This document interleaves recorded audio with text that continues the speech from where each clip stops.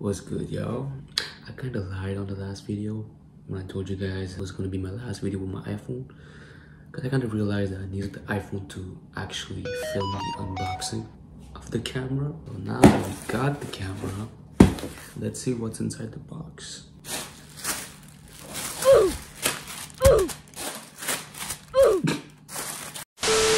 There's a lot of stuff in here. Let's start with this. A tripod.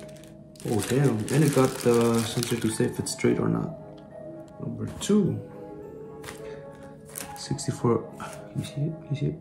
Gigabyte SD card. Damn, they, they actually best with this. Wipe the lens. Oh, it's a digital reader to transfer your clips to the computer. We got a back.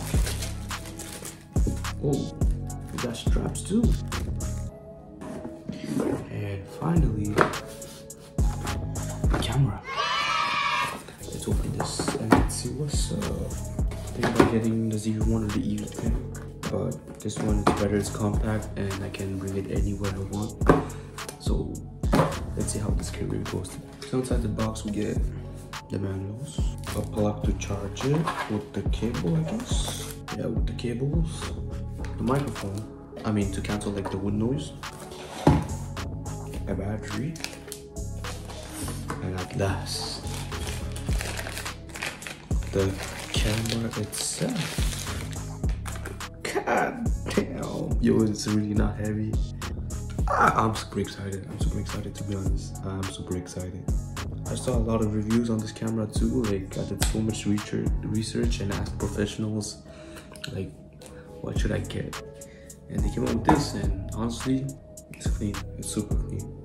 I can't wait to use it. To be honest, honestly, I'm super super hyped for this new journey.